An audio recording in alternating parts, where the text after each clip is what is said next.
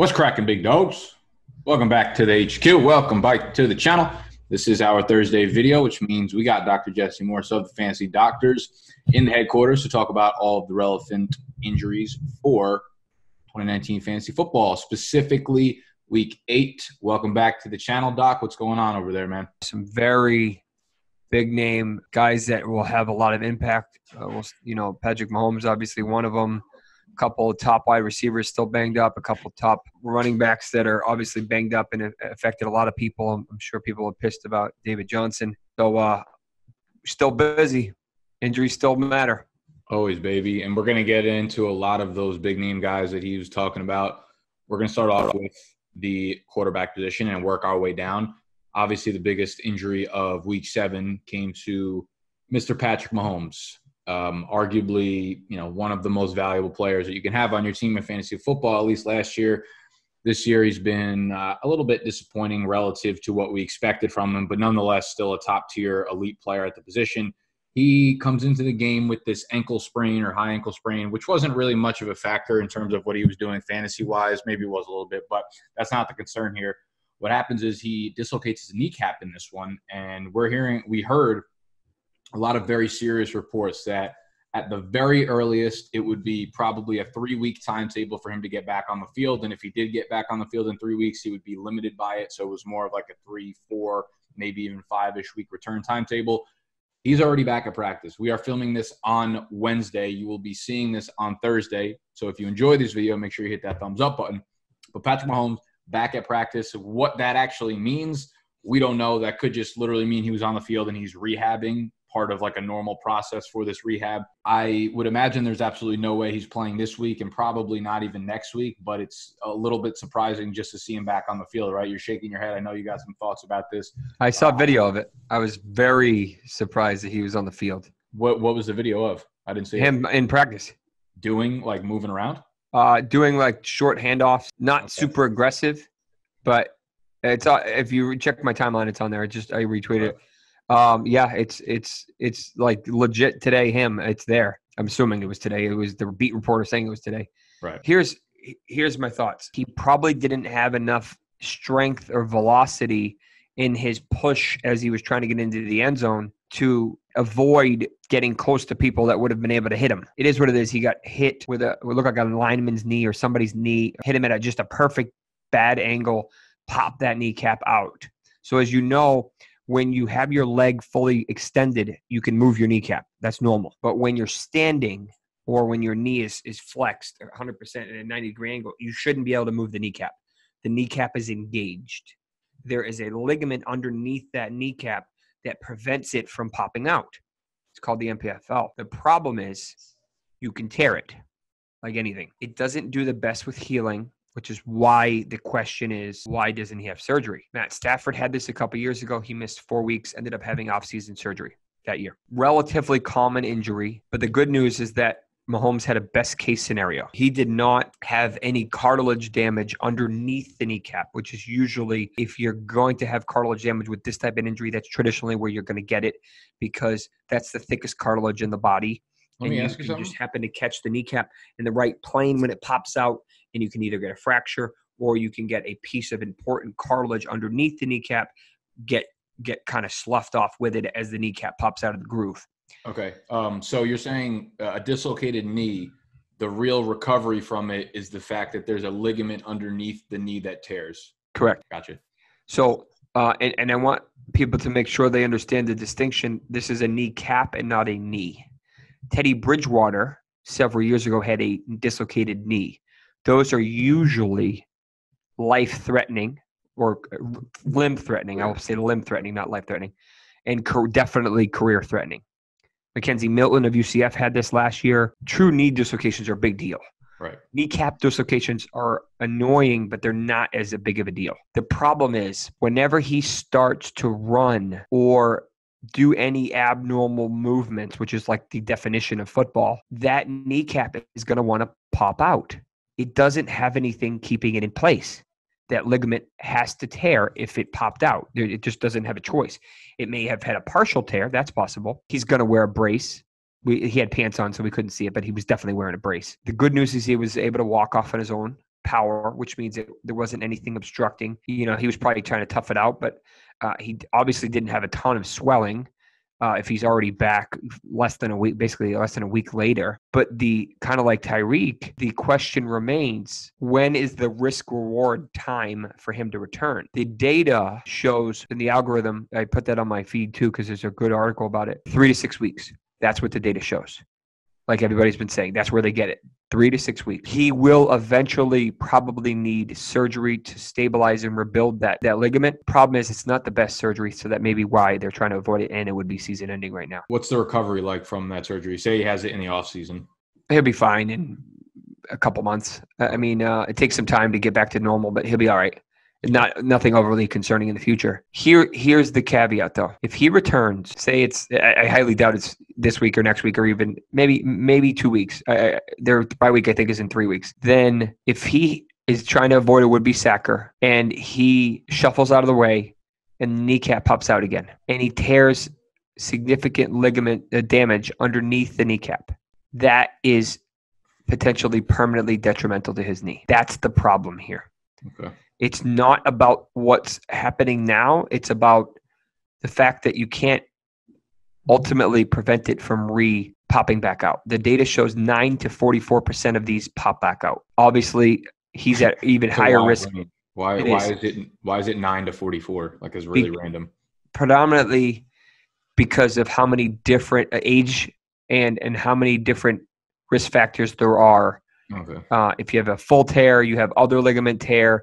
You um, some people have what we call a, a high patella; it rides high, or, or a low patella. So there's a lot of variation as a result of that.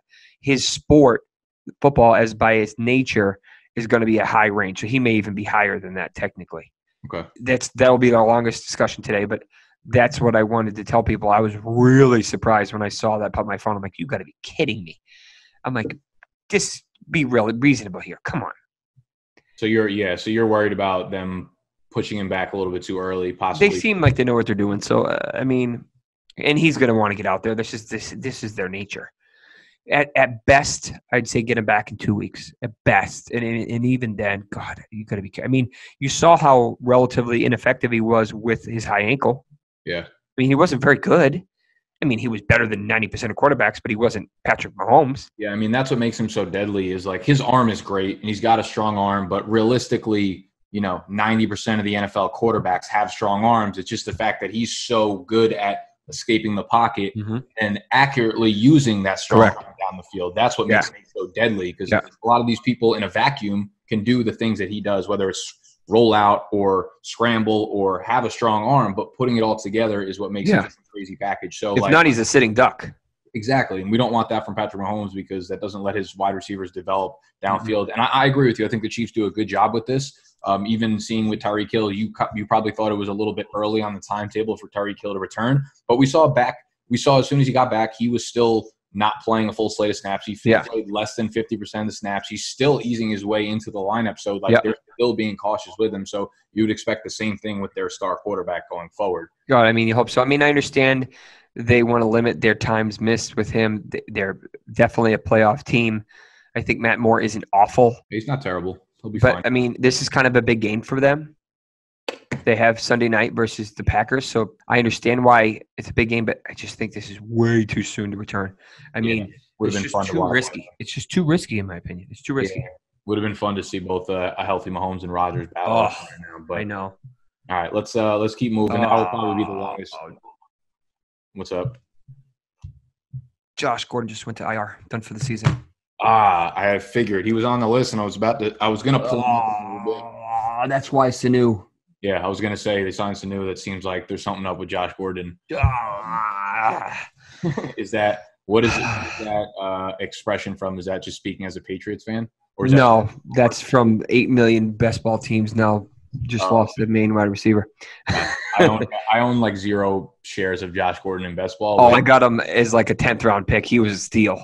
Oh yeah, later than that. Yeah, uh, at the time I was just like, I doubt he's even going to come back or play at all this season. But I guess it turned out, you know, as fantasy football always does, like some things work out, but so, a lot of the yeah. times, like the way they work out is never how you plan them to work he, out. He didn't do very well. I was going to say, even when he was, he was disappointing. Yeah, so uh, just unfortunate. I, my suspicion is he has a pretty big tear in his uh, MCL.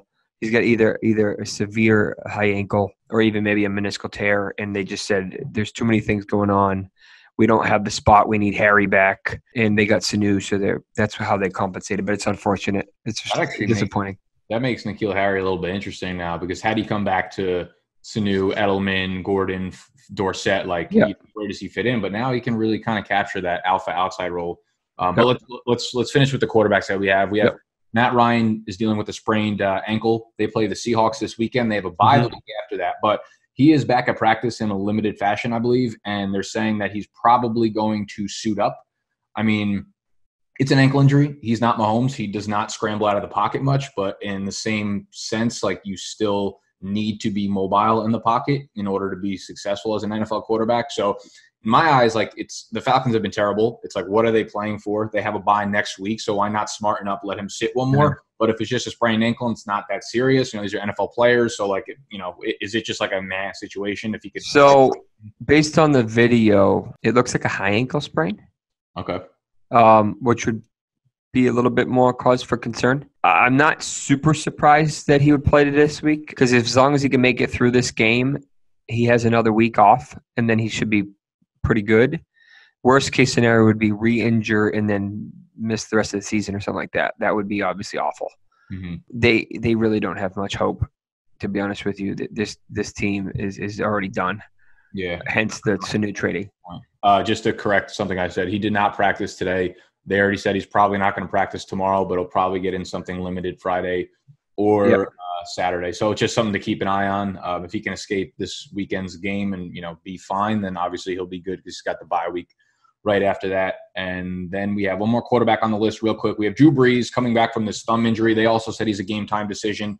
I mean, with Teddy Bridgewater playing so well, it almost seems like they should probably sit him for one more week going into their bye and then come off strong against the Falcons. Uh, what are you? Do you think if Brees comes back this early, like the thumb injury will affect him? Because it does fall within like the normal time range they said of his return time. Yeah. But if if Brees is, you know, they said he's going to be a game time decision. If you're a Brees owner, you know, super flex league or something, he's like your best option there. Um, are you're playing him or? Yeah, I mean, if he's on the field, I'm playing him. I won't be. His upside is higher than most people's upside. Yeah. Like I would say, like obviously, it's like him or Rodgers or him or him or Watts, something like that, like then I'd say, all right, no, then I'd sit him. But it's like him or Matt Moore or him or Matt Schaub or like yeah. then I'm like they're playing in, in, a pretty bad Arizona defense, even with Patrick Peterson. So it's like my suspicion is he'll he may play. I think he'll be a true game time decision. I wouldn't be surprised if Bridgewater takes the role and, and, and is back in two weeks. He comes yeah, back I mean, in two weeks and he's ready to rock. Um, this is a little more challenging with a football than a baseball, so uh, it's the grip strength. Um, but I wouldn't be surprised if he's very close to returning. Yeah, he's got to be. I mean, all the reports say that he's, you know, pretty much 50-50 and even if even if they already know that he's not going to play this weekend, they just keep saying that like he's obviously very very close to yeah. Return. Yeah, he'll be. He'll see that the rehab went well and like nothing went wrong. He'll definitely yep after the bye week. Um, Definitely. So if, if you do need help setting your lineups or anything, I know on my Patreon, which is on patreon.com slash BDGE, you can get my weekly rankings for uh, each position, half PPR, standard PPR. Uh, that's the only place you will be able to get those from me and then Big Dog Country over there.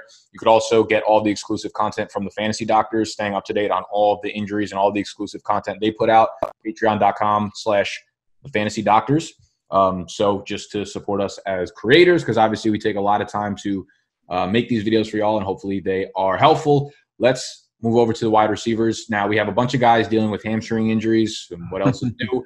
Adam Thielen is already ruled out for tomorrow yeah. night's game. It would have been ridiculous for him to have suited up after yeah. like three days. So it seems like I mean he was close to playing, but it seems like he should be pretty much good to go for the following week. As a Thielen owner, you're not really concerned about Correct. this. Okay, cool. So Thielen um, obviously, you're sitting him. Stefon Diggs gets a, a boost up. We got Bisi Johnson, third wide receiver, who's Irv Smith, maybe a little bit. Yeah, they might go more two tight end sets. I think uh, we'll probably buy into his recency, his recent performance, and say that we kind of like him. And then he, has got a low floor, so I wouldn't really uh, go too heavy on it. But Thielen, no worries there. Will Fuller, the other story of the weekend, because he makes Kenny Stills extremely valuable. Mm-hmm. He's dealing with what seems to be a little bit more of a serious hamstring strain. They mm-hmm. immediately said he was going to be out multiple weeks. Now, a lot of the times, these teams, like with Thielen, They say he's day to day. He could probably play next week, and that's obviously optimistic, but it still kind of tells you the seriousness of the injury. Whereas Kenny still, I mean, uh, Will Fuller, they come out and say, you know, Boom. week to week, which tells you that it's going to be a long return Yeah. timetable. What are we looking at here? Let's just say Kenny Stills can't, or uh, Will Fuller can't stay healthy to save his life. Yep. My suspicion is he comes back in week 10, maybe week 11 if you're lucky. Um, I wouldn't be surprised if they put him on IR. This is kind of that time of the season where they have limited options and they need to figure out who's going to be available in a couple weeks and who's not. And if it's going to be more than a month, they, they, they- a lot of the times they have a tendency to IR him, which would be unfortunate, but that's just the nature of it. I think this is a combo between Kenny Stills gets a big boost and Keke Coutee gets a, a little bit of a boost. Yeah, um, I I dropped Will Fuller after this injury because I'm with you. I think it's going to be on the much longer return side. I would. I don't blame you for dropping him. Not at all. Yeah. Plus, like even if you had him on your roster, it's not like he was doing anything for you outside of the one game where you ended up probably like Probably sitting- sat him anyway. Yeah, you, exactly. That's that's the shitty part about owning a guy like Will Fuller. And I try to stay away from those guys in season long leagues. Yeah. Uh, so Will Fuller, whatever. Monte Adams now has missed three straight games, still dealing with the turf toe. Like you said, they play Kansas City on Sunday Night Football. So it seemed like a good spot for him to return. Now, you know, they're playing without Patrick Mahomes, so maybe not a situation where they need to push him. The, my my feeling is that like it's not really about the the Packers trying to push him back into the lineup and being like, we need you now. It's more like Davante Adams has been pretty clear about him wanting to rest up and making sure Yeah. he's 100%. So if you are an Adams owner, obviously it's bad news that he's missed this much time, but it's good news in the sense that he's taking his time and making sure that he's 100% ready to go when he does return. Now he's getting to you know the end of that return timetable, I guess, for the turf toe, which is pretty open ended. Um, but at this point, I mean, uh, are, are you like nervous that this keeps kind of lingering on week to week, or is this pretty normal? Yeah, I mean, I got a lot of shares of Adams. He was my top wide receiver, and he just doesn't seem to be eager to get back in the field. Yeah. I mean, I know this lingers. The the, the normal average return to play time is three weeks. He just hit that. He's past three weeks. So people thought he was going to come back in the game initially. I'd say there's a 75% chance he returns in week eight. 75. Okay. Uh, uh, that's where I'm at right now. If he doesn't practice, th- I, don't, I don't see his practice report today, but Thursday or Friday, then I'm getting concerned. Yeah. but if he, you know, if he's like practicing or, or partially practicing, I think there's a chance he plays. Okay. Uh, Davante Adams is dressed and stretching at practice. He went through stretching for the first time since suffering the turf toe. There you go. Inside with trainer Brian Engel to test some different shoes. Several vets got the day off. So he is finally back, you know, on the field doing a little bit of physical activity, which is a step in the right direction compared to like sitting on your ass and doing absolutely nothing. Correct. So there are brighter days coming for you, Davante Adams owners. Um, we'll see what happens with this week. Keep uh, keep a close eye on it. Josh Gordon, you know, we just heard the news that he's been placed on the IR. He will. Uh, I'm not even sure if he's eligible to return. Even if he is, doesn't really matter because it'll be like week 16, I believe, which is They won't. They won't bring him back predominantly because Harry, they only have two spots to bring back, and they need to bring back Harry, and they're going to probably bring back either a fullback or their, their guard, the Wynn. With Right, with uh, I forgot what the hell it is, but he's dealing with something. So Isaiah. Um. All right. yeah, they'll they'll need him. So, I mean, we're not going to really touch on the injury here, but I will say that N'Keal Harry starts to become interesting because he could carve out a role over the second half of the season as the outside alpha there. Last guy here, I mean, we've talked about him many times, DeSean Jackson. He is someone who changes the Eagles' offense, but he, the guy hasn't fucking practiced for literally the entire season. He's I basically told you he, he he's he's just gonna this is gonna waste away. yeah, uh, Ridiculous. Yeah. At, this point, like if you've held on to him to this point, or should you continue to hold on to him? Or are you just like, nah, he's it's finished? I mean, at this point, you might as well hold on to him just in case yeah. he comes back. But sh- I don't feel good about it. yeah. That's that's the same way I'm feeling about like AJ Green because This is one of those where if you ask him now and he's like, "Did you wish you did surgery?" I promise you, he would say 100 percent yes. Hundred percent, yes. He probably knew that in the beginning too, but was just a little too optimistic. And now the weeks, Stubborn. That's these guys are all stubborn. I mean, that's what That's the problem. Is like, you would have been back in six weeks. What's six weeks after first week? That's week seven, week eight. Where are we at? Yep, we're. That's uh, the problem. But hey, these guys live and they learn. Yep. Maybe they don't. Let's head over to the running back position, which Yep. uh, we have a lot, well, not too much to talk about, but a lot of big names to talk about. Let's start with uh, Kerryon Johnson. Obviously, dealing with this knee injury, we didn't really know what it was. We didn't know exactly what play it happened on. Now we know he's on the IR. So the first week that he's even eligible to return is week 16, which basically means he's irrelevant for your fantasy football season. Correct. Now, Kerryon. this is, I believe, the same knee in which Correct. he injured last season. Yep. And coming into the season, he wasn't necessarily like a huge injury concern, but he'd been banged up a lot in college. Now he missed a lot of time in his rookie year. Now he's going to miss a lot of time in his second year. Is he a guy that in in the future, I guess, if you're like a dynasty owner or something, because he's someone I actually traded for in the offseason. I traded Miles Sanders and someone else for um, on Johnson. At the time, I felt great about it, and now I kind of still do because Miles Sanders hasn't really shown us much. But like going forward, obviously you could drop him and redraft. Ty Johnson's the guy to pick up, but like this, it, almost seems like we're going to need to throw an injury prone label onto on Johnson, right? Yeah, I mean, uh, until he's like Leonard Fournette, who can show he can shown he can stay healthy. Do we know? I mean- do we know. Uh, I, I feel like I haven't seen any really clear, concise information about what. no, happened. so uh, here, uh, my battery's dying on my computer, but here's the here's my thoughts. Monday, I said uh, we recorded a video at night saying I have a bad feeling he's going to go to IR. I saw that. I plugged it into one of my. I have a weird feeling that it's either a meniscus or an MCL tear, which is what he had last year, an MCL tear. We know he had surgery. We don't know what he had. My suspicion is he had either or both. Their season's going to be done, so I don't know why the hell they would bring him back. We need a a clarification in the off season about exactly what he's dealing with before we can get confidence in him. Um, I don't think it's anything serious, but it's obviously enough serious enough to shut him down. Yeah, and just looking looking towards the future, like I, I already know what's going to happen. Like going into drafts next year, people are going to start looking at him as like third round pick, fourth round pick. And this was something that um, you know Matt Patricia echoed to us in this offseason. He's like, we don't want to use him as a workhorse because we want to make sure he holds up throughout the whole season. And you know, like credits to Matt Patricia because this is exactly what he kind of foresaw once he started using him as a workhorse, and it happened. So if you think they're going to try to throw him into a workhorse role again next year, probably not going to happen. So just try to keep that in mind, you know, as we move forward into a fantasy uh, off season and even into like dynasty leagues and whatever for next year. But Definitely. another uh, another big name guy who also happens to be my running back in that same dynasty league is David Johnson. He got the start, played about one or two snaps, immediately off the field. Chase Edmonds blows up, does his thing. Now this should have been assigned to us, and I, I, I take responsibility and credit, or not credit, but I take uh, what's like, anti credit. You know, I, I take uh, the blame, I guess, for this as a fantasy analyst, someone who should have shared with my audience that Cliff Kingsbury came out on Friday and said, had we played a game today, David Johnson would not have played. So I don't know why we thought David Johnson would be a good play just with one extra day's rest after Friday, right? Wouldn't play Yeah. Friday, gets to rest on Saturday, is active on Sunday. With he's got something with the back, something with the ankle. Correct.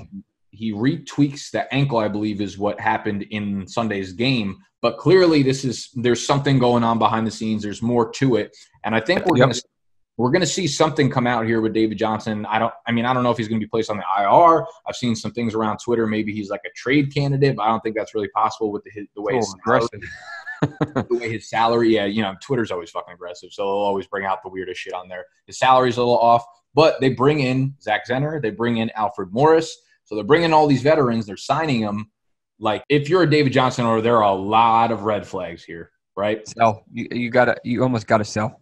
You have to. He was like my top trade target on on the video that I put out this morning. Yeah. I mean, uh, I don't know what you're gonna get for him, but you, I don't feel good about it. No, Um, uh, my suspicion is this is a combination between his back and his ankle, and you don't know which one's bothering him more. But yeah, th- this is not. Uh, this is not. Uh, it's unfortunate. Um, I think I probably got like another minute or two, and my laptop's gonna die. So my battery's toast. I need to get a new one. Okay, But so, uh, uh, let's run through like two or three more important players. Alvin Kamara right now still dealing with the high ankle sprain. You called it last week that they should shut him down, not playing last week. You feel the same way this week? yeah, but I got a bad feeling they're gonna play him. Yeah, you do. Yeah, I don't like it, but I mean, he's got a great spot. That's the problem. Are you going to play him in your lineups if he is active on the field? Probably. Um,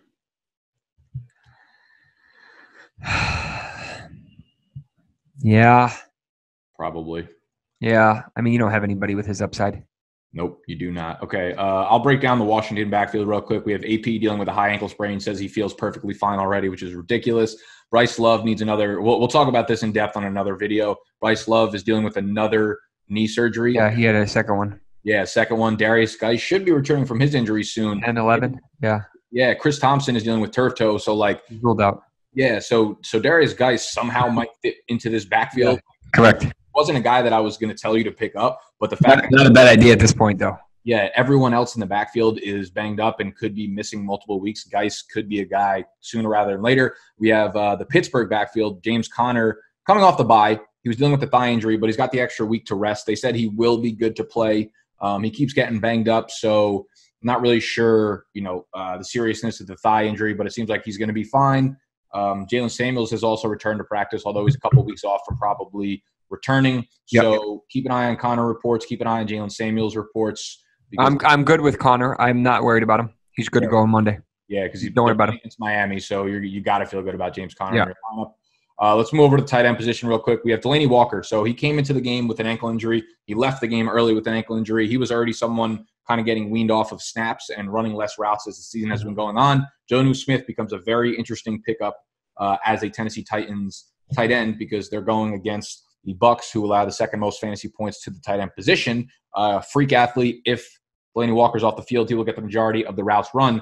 Do we know anything about Delanie Walker's ankle? Um, is this something like people can like re-sprain their ankle over and over again and then keep trying to trot back out and keep getting Yeah. off?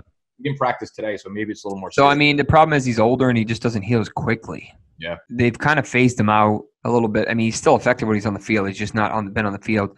My suspicion is they shut him down this week to try to get it feeling better, and then they just um, and see how he does next week and go from there. They were really vague about his injury, and they haven't really said anything. The other guy that just popped up, I don't know if you noticed, is OJ Howard. I saw the hamstring. I figure Yeah. I feel like at this point I've talked to you about hamstrings so much that I could basically give the analysis to my audience. So know, here's the question I have: Didn't they have a bye last week? the Bucs. Yeah. Yeah, they did. So how the hell does this guy have a hamstring injury? I mean, maybe working out. We haven't heard about it until today. Well, Chris Herndon. I was just going to bring him up because he has officially he has not actually practiced with the team because he That's what I'm saying. And it's been like what two, three weeks since he's been there. yeah he pulled the hamstring Uh, like the out. day before he was supposed to come back or whatever? yeah, working out on his own. Now he finally practiced in limited fashion this week for the first time. So if Herndon's back, um, they're playing against Jacksonville. Oh, it's a great spot. I mean, he's Yeah, got a great matchup anymore. So are you feeling good? Like, would you start Herndon? I mean, obviously it's going to be depending on who else you have, but like Herndon coming off this huge absence, coming off the hamstring, like, you know, So the, the better question is, is Herndon going to be wearing a ghost outfit? I mean, I'm not putting him in my lineup. um, with uh, tight end being so thin, you may not have much of a choice. yeah, Um, I love his upside. I just I would probably wait a week to trust him. That would Yeah. be my recommendation. If he plays, I might throw him in a DFS lineup or two. But I season long, I, I, I mean, you might not have any op- other options. That's a problem. yeah. um, Jacksonville. I mean, they get Miami, New York, Washington, Oakland, Cincinnati, Miami, Baltimore. So it's like, it might be time for Oliver. Uh, Swaim just went to IR, yeah, Josh Oliver. so that may not be a bad idea. Foles will be back in a couple weeks. I can't get on board with the Jackson. Every season, every week, week to week, every Jacksonville tight end gets hype, and Oh, it's, it's crazy. It's literally, it's literally been like probably forty-five games since a Jacksonville tight end has produced, but they get hype every single week. It's ridiculous. Oh, yeah. Last guy I believe I had on my list was Jared Cook. Uh, he's dealing with an ankle injury. He missed last week, uh, but they do get a great matchup against Arizona this week. Josh Yeah. Hill filled in, went three for forty-one or three for forty-three and a touchdown. So he's not a great start, but he is someone that you can get. into. Yeah. I don't. I don't have. We don't have any info on it. Yeah. I would say here's my thoughts. If he practices Friday, he's good to go. Okay. I haven't seen a practice report today. They haven't said anything about it since he they he didn't play. It's kind of the same thing with Delanie Walker. They're they're they're in a similar boat. participate in practice today. Who didn't? Walker didn't. Jared Cook, Alvin Kamara, both did not. Drew Brees. Yeah. So Wednesday's usually a pretty common day for these guys to take off. So Thursday's a better idea. Friday's the the day. If they don't practice Friday, more often than not, they're not playing. yeah. I think um, I, I think if Cook is in is on your waiver wire and he does yeah. end up playing, I think he's a sneaky good start because people are thinking about the beginning of the season where he started off so slow, but he had two touchdowns in two games in the last two games prior to getting hurt. back. Yeah, before he, oh, yeah. smash spot against Arizona. So it's like he could kind of fit in there and probably produce, you know, a three for forty-five and a touchdown for you. Yeah. As someone who's probably sitting on your on your wire. So keep a close eye on Jared Cook. Yeah. We all I got to roll out. If uh, you have any more questions, uh, feel free to reach out to me. We'll be uh, dropping this in the morning. Yep. Fantasy Doctors podcast will be dropping tonight, uh, meaning Thursday night, and we'll have some updates from the Thursday uh, practice. And then um, I do an injury live stream on Sunday mornings at 11:30. If anyone's interested, it's free uh, on uh, the YouTube channel for the Fantasy Doctors. All right, Um, yeah. So go go follow your man's on all the social medias. That will obviously be linked in the description. So if you want the best guys that are you know th- that are questionable. that are doing it. All right, that's all we got for you today. Thanks for joining us, Doc. Uh, go charge that laptop so we can get back on here and talk some injuries next Sounds week. good, buddy. Take care. Peace.